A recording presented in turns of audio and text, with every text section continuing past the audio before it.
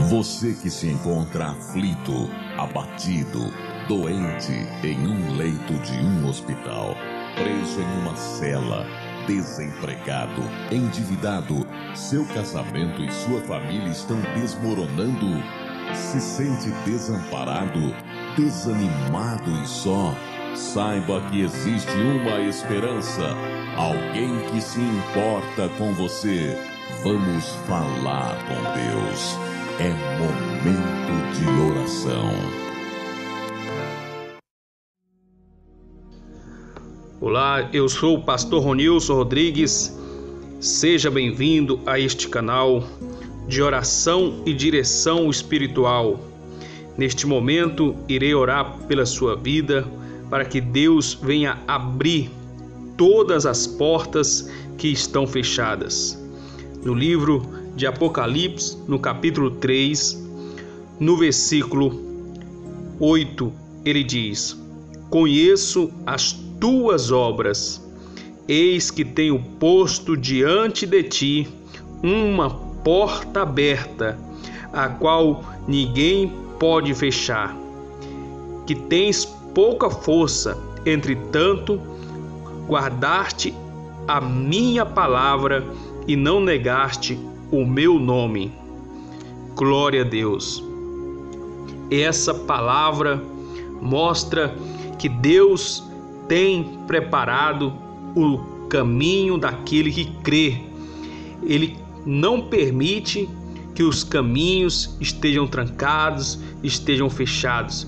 Ele diz que há uma porta aberta e que essa porta seja na tua saúde, na tua vida espiritual, na tua vida econômica, enfim, em todas as áreas que essa promessa venha se cumprir e as portas venham estar abertas na sua vida. Em nome de Jesus, vamos entrar em oração. Querido Deus e poderoso Pai, em nome do Senhor Jesus, nós nos colocamos em tua presença neste momento em oração. E fazemos isso em nome de Jesus, pois o Senhor é o Deus eterno e soberano.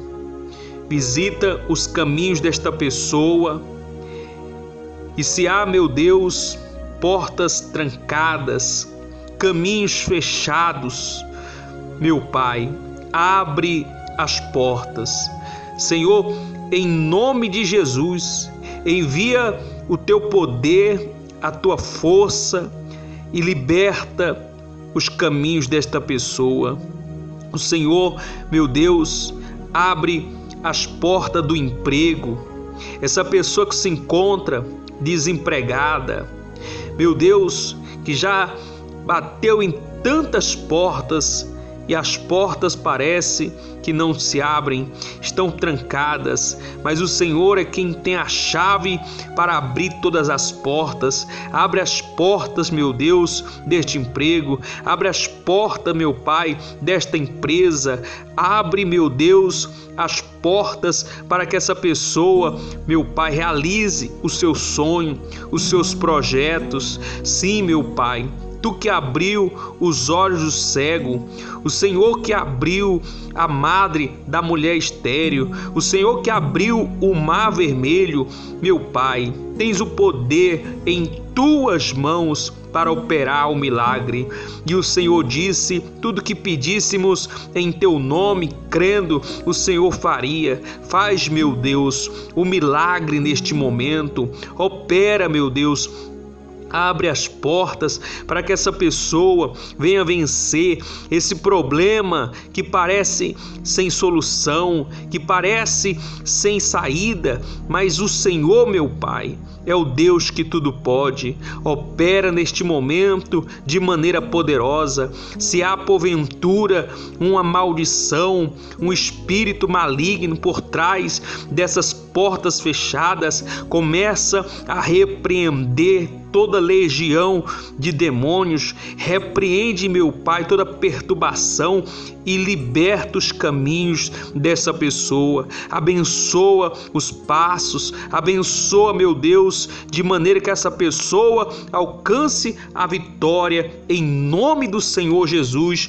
pois assim, meu Deus, nós oramos crendo no teu agir, crendo no teu poder, ó Pai, pois está escrito: o Senhor é o meu pastor e nada me faltará. Ele me faz repousar em pastos verdejantes, leva-me para junto das águas de descanso e refrigera a minha alma. Guia-me pela vereda da justiça, por amor do seu nome. Ainda que eu ande pelo vale da sombra da morte, não temerei mal nenhum, porque tu estás comigo. O teu bordão, o teu cajado me consola. Prepara-me uma mesa na presença dos meus adversários. Unge minha cabeça com óleo e meu cálice transborda. Bondade e misericórdia certamente me seguirão todos os dias da minha vida e habitarei na casa do Senhor para todo sempre. Sim, meu Deus, derrama, meu Pai, uma unção sobre a vida desta pessoa e tira, meu Pai, a vida desta pessoa do embaraço. Tira, meu Deus, dessa amarração.